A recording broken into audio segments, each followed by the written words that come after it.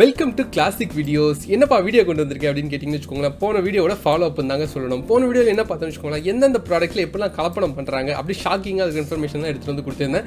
இந்த வீடியோவில் என்ன பண்ண போகிறோம்னா எந்தெந்த ப்ராடக்ட்டில் எப்படி பண்ண கலப்படத்தை எப்படி கண்டுபிடிக்கிறது அப்படின்னு தாங்க சொல்ல போகிறேன் ஆமாங்க நம்மளை சுற்றி வந்து ஒரு நூறு கோடி பேர் என்ன பண்ணுவாங்கன்னா உட்காந்து வளைச்சு வளைச்சு நம்மளை ஏமாத்துறதுக்காக என்னென்னமோ டெக்னிக் ஃபாலோ பண்ணி ஏமாற்றுவாங்க நம்ம அவங்கள பற்றி கம்ப்ளைண்ட் பண்ணுறதுன்னு வச்சுக்கோங்களேன் இந்த சாப்பாட்டில் இதை கலப்படம் பண்ணிட்டாங்க இது முன்னாடி மாதிரி சுத்தமாக இல்லை அப்படி இப்படின்ட்டு.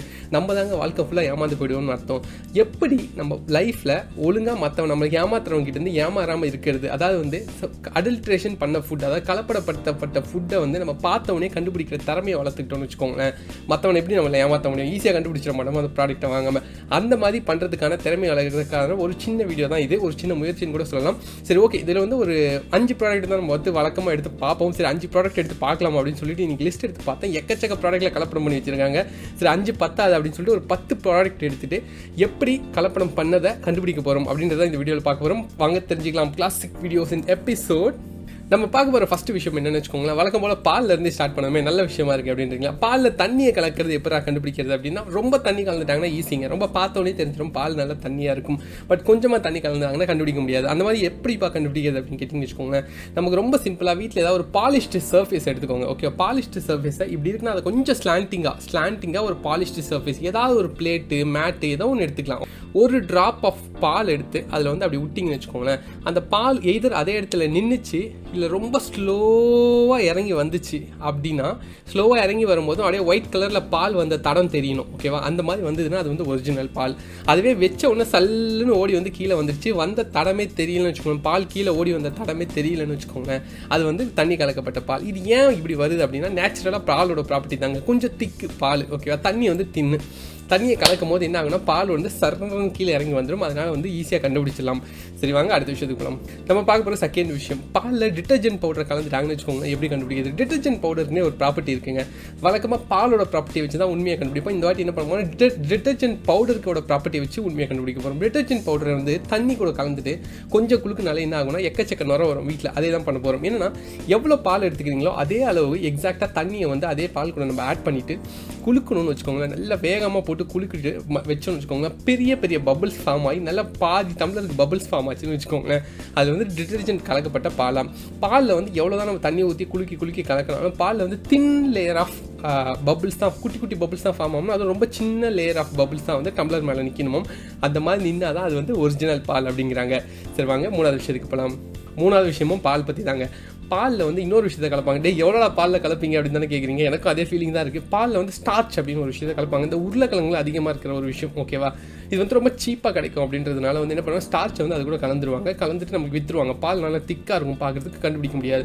அந்த மாதிரி இருந்ததுன்னா நம்ம எப்படி பண்ணணும்னா ஸ்டார்ச்சுக்குன்னு ஒரு ப்ராப்பர்ட்டி இருக்குது அது என்ன பண்ணணும்னா அயோடின் கூட சேரும் போது ப்ளூ கலரில் மாறிடும். இதான் வந்து கண்டுபிடிக்கிறதுக்கு டெக்னிக் என்ன பண்ணணும்னா இது வந்து மற்றலாம் வீட்டில் இருக்க டெக் ஐடியா வச்சு பண்ணிடலாம். பட் இதுக்கு வந்து அயோடின் லிக்விட் நமக்கு தேவை வேறு வழி இல்லை. ஓகேவா இல்லைனா அயோடின் ரிச் அதிகமாக அயோடின் இருக்குது ஏதோ ஒரு ப்ராடக்ட்டை கூட மிக்ஸ் பண்ணலாம். ஓகேவா ஃபார் எக்ஸாம்பிள் அயோடைஸ்ட் உப்பு கூட மிக்ஸ் பண்ணலாம்.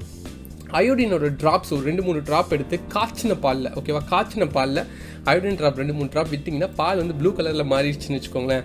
அந்த பாலில் வந்து ஸ்டார்ச் கலந்துருக்காங்க அப்படின்றது அர்த்தமாம். சரி போதுண்டா பாலை பற்றி சொன்னது எவ்வளோ கலப்படா அப்படின்னு தானே சொல்கிறீங்க அட்லீஸ்ட் இதில் இவ்வளோ வந்து கண்டுபிடிக்கிற டெக்னிக்ஸ் இருக்குன்னு நம்ம வந்து என்ஜாய் பண்ணிக்கலாம். சரி வாங்க அடுத்த விஷயத்துக்கு போகலாம் நாலாவது விஷயம் கோகனட் ஆயில் எங்கள் தாத்தா சொன்னது எனக்கு இன்னும் ஞாபகம் இருக்குது என்னென்னு வச்சுக்கோங்களேன் என்னடா நான் நான் சின்ன வயசாக இருக்கும் போதெல்லாம் தேங்காய் எண்ணெய் நல்ல மனமாக இருக்கும்டா இப்போலாம் மனமாகவே இருக்கிறது இல்லை அப்படின்னாரு. அவருக்கு இந்த டெக்னிக்கை நான் சொல்லிக் கொடுக்க முடியாமல் போயிடுச்சு. பட் ஆனால் உங்களுக்கு சொல்லிக் கொடுக்க முடியறதுல எனக்கு ரொம்ப பெருமை தான். என்ன அப்படின்னு வச்சுக்கோங்களேன் கோகனட்டுக்குனே ஒரு ப்ராப்பர்ட்டி இருக்குங்க. தேங்காய் எண்ணெய்க்கு என்னன்னா சீக்கிரமாக வந்து கட்டி ஆகிடும் அது ஒரு ஃப்ரீஸ் ஆகிற பாயிண்ட் இருக்குல்ல அந்த ஃப்ரீசிங் பாயிண்ட் வந்து ரொம்ப கம்மி ரொம்ப சீக்கிரமாகவே ஃப்ரீஸ் ஆயிடும் அதனால என்ன பண்ணலாம் அப்படின்னு வச்சுக்கோங்க. கோகனட் வந்து எப்படி ஏமாற்றுவாங்கன்னா வேறு ஏதாவது எண்ணெயை வந்து அது கூட மிக்ஸ் பண்ணிடுவாங்க.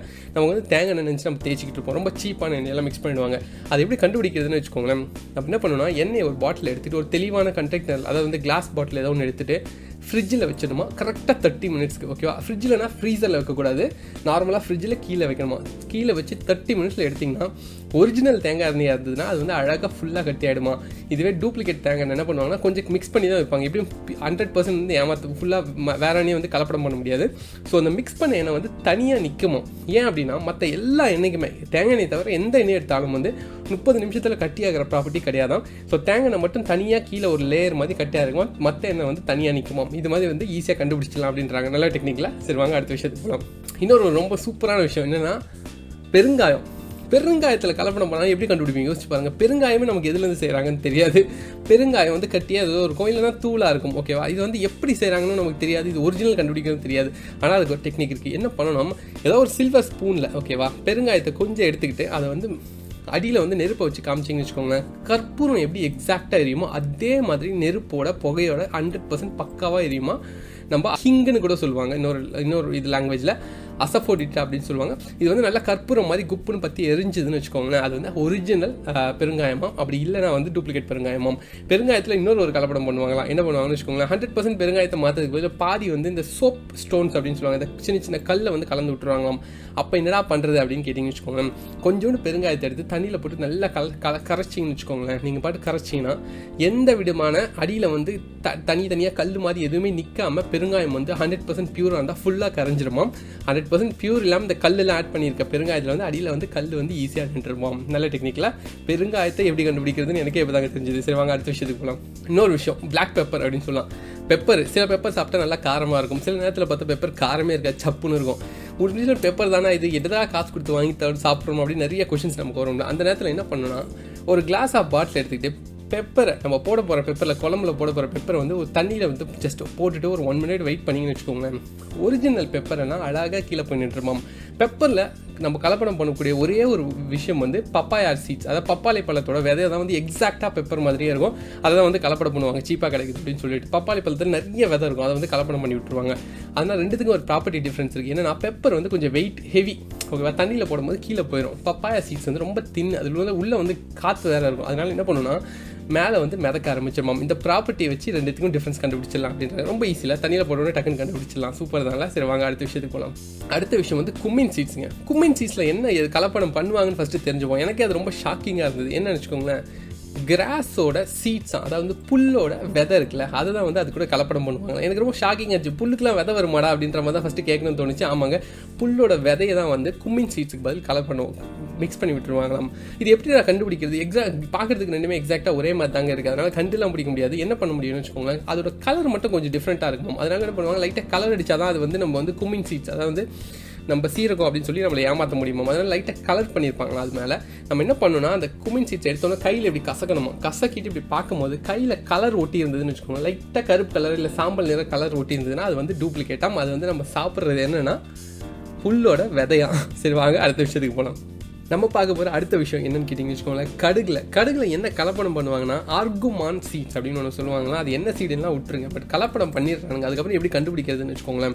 ரெண்டுத்துக்கும் ஒரே ஒரு டிஃப்ரென்ஸ் தான் இருக்குமா? என்னன்னா வந்து பார்க்க வந்து பார்த்து கண்டுபிடிக்கலாமா? ஒரு ஐடியா வந்து என்ன பண்ணலாம் க்ளோஸ்அப்பாக பார்த்தோன்னு வச்சுக்கோங்களேன் கடுகு ரொம்ப பாலிஷ்டாக இருக்குமா? வந்து பார்க்கறதுக்கு அந்த ஆர்குமான் சீட்ஸ் வந்து கொஞ்சம் சொர சொரன்னு இருக்குமா? அந்த மாதிரி இருந்ததுன்னா கண்டிப்பாக டூப்ளிகேட்னு சொல்லிடலாமா? அப்படியும் கண்டுபிடிக்க முடியல அப்படின்னு வச்சுக்கோங்களேன் கடுகு எடுத்து நசுக்கி பார்த்தா உள்ளே வந்து எல்லோ கலரில் வருமாம். கடுகோட உள்ள அந்த விதைக்குள்ளே இருக்கிறது. அதுவே வந்து நீங்கள் அந்த ஆர்குமான் சீட்ஸ் எடுத்து நசுக்கி பார்த்தா உள்ள வந்து வெள்ளை கலரில் வருமா? இது ரெண்டு தான் டிஃப்ரென்ஸ் இதை வச்சு தான் கண்டுபிடிக்கணும் அப்படிங்கிறாங்க. ஏன்னா அவ்வளோ சின்னதாக இருக்குது அதில் போய் கலப்படம் பண்ணுவீங்க அப்படின்றீங்களா? எனக்கும் அப்படி தான் தோணுச்சு. சரி வாங்க அடுத்த விஷயத்துக்கு போகலாம் அடுத்த விஷயம் என்னன்னு வச்சுக்கோங்களேன். பச்சை மிளகா பச்சை மிளகா வந்து நல்லா பச்சையாக பளபலான்னு இருக்கணும்ல. அதுக்காக என்ன பண்ணுவாங்களாம் வந்து மலசிட் அப்படின்ற ஒரு விஷயத்தை வந்து கலர் வந்து அது அந்த கலர் வந்து போட்டு விட்ருவாங்க நல்லா பச்சை பசேன்னு இருக்கும் ஓகே மிளகான் இல்லைங்க. பச்சை கலரில் இருக்கிற எல்லா காய்கறிலையுமே வந்து இதை வந்து ஆட் பண்ணி விட்ருவாங்க எதுக்கு நல்ல பசுமையாக பச்சையாக தெரியுமா? பார்க்கறதுக்கு நம்மளும் வந்து ஜாலியாக வாங்கி சாப்பிட்ருப்போம் இந்த மாதிரி ஃபுட் கலரை வந்து ஆட் பண்ணியிருக்காங்களா என்னன்னு கண்டுபிடிக்க ஒரு டெக்னிக் இருக்காங்க. என்னன்னா வந்து தூ பஞ்சு மாதிரி ஏதோ ஒரு ட்ரெஸ் இல்லை ஒரு சின்ன பஞ்சோட பிஞ்சை எடுத்துக்கிட்டு அதில் என்ன பண்ணுமோ தண்ணி இல்லைனா வெஜிடபிள் ஆயில் இது ரெண்டில் ஏதாவது உள்ள நினச்சிட்டு அதை வந்து அந்த காய்கறி மேலேயோ இல்லை பச்சை மிளகாய் மேலேயோ லைட்டாக தேய்ச்சி எடுத்தோம்னு வச்சுக்கோங்களேன் என்ன ஆகுமா? அந்த கலர் வந்து இதுக்கு ட்ரான்ஸ்ஃபர் ஆகிடுமா அந்த பஞ்சில் வந்து பச்சை கலர் ஒட்டுச்சுன்னா அது வந்து கண்டிப்பாக கலர் அடிச்சிருக்காங்க அப்படின்னு சொல்கிறாங்க நேச்சுரலாக வளர்கிற எந்த இதுலேயுமே வந்து இந்த மாதிரி கலர் வந்து ட்ரான்ஸ்ஃபர் ஆகாதாம். அதை வச்சு கண்டுபிடிச்சலாம் அதுக்கப்புறம் அந்த கடைக்கு போகாம விட்டு வேறு கடையில் போய் வாங்கிக்கலாம். இதே மாதிரி பச்சை பட்டாணியிலும் வந்து நிறைய கலந்து பார்த்துருக்கேன். நான் வந்து சின்ன வயசுலேருந்து பச்சை பட்டாணி எங்கள் வீட்டில் செஞ்சாலே நம்ம தான் போய் தண்ணியில் போட்டு கலக்கிட்டு இருப்பேன் அது வந்து கலர் ஆகும்ல அதை வச்சு விளையாண்டுட்டு இருப்பேன். அது வரைக்கும் எனக்கு தெரியாது. அந்த மாதிரி கலர் ஆகுது வந்து டூப்ளிகேட் அப்படின்னு சொல்லிட்டு ஒரிஜி ஒரிஜினல் பச்சை பட்டாணி எடுத்து தண்ணியில் போட்டு நீங்கள் கலக்குனீங்கன்னா கலரே வரக்கூடாது.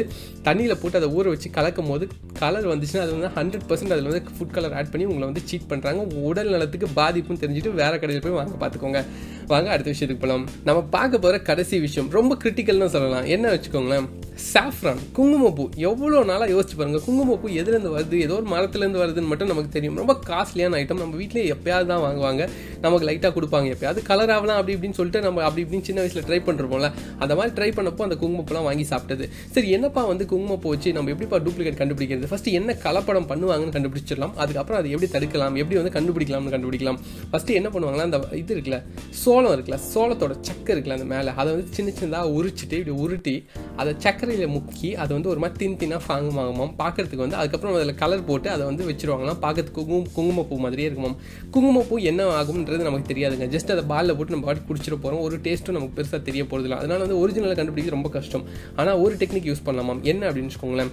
குங்குமப்பூக்கு ஒரு ப்ராப்பர்ட்டி இருக்குது அது என்ன பண்ணுன்னா பால்லையோ தண்ணிலையோ நீங்கள் அதை போட்டு கரைச்சிங்கன்னா அது வந்து கரைஞ்சி சின்னதாகி கரைஞ்சி கடைசி துண்டு போகிற வரைக்கும் அதோட கலர் வந்து மாறாதாம். அதாவது வந்து ஒரு குங்குமப்பூ எடுத்து பாதி கரைச்சிங்கன்னு வச்சுக்கோங்களேன். பாதி கரைச்சிட்டு பால்லேருந்தோ தண்ணியிலேருந்தோ எடுத்து பார்த்தீங்கனாலும் எக்ஸாக்டாக அதே கலரில் இருக்குமாம். ஆனால் டூப்ளிகேட் ஆர்டிஃபிஷியலாக கலர் பண்ண விஷயத்தினால அந்த மாதிரி இருக்க முடியாதாம். எடுத்து கொஞ்சம் நேரம் கரைச்ச உடனே என்ன ஆகும்னா கலர் போயிட்டு கொஞ்சம் லைட் கலரில் டல் ஆகிடுமோ அதை வச்சே கண்டுபிடிச்சிடலாமாம்.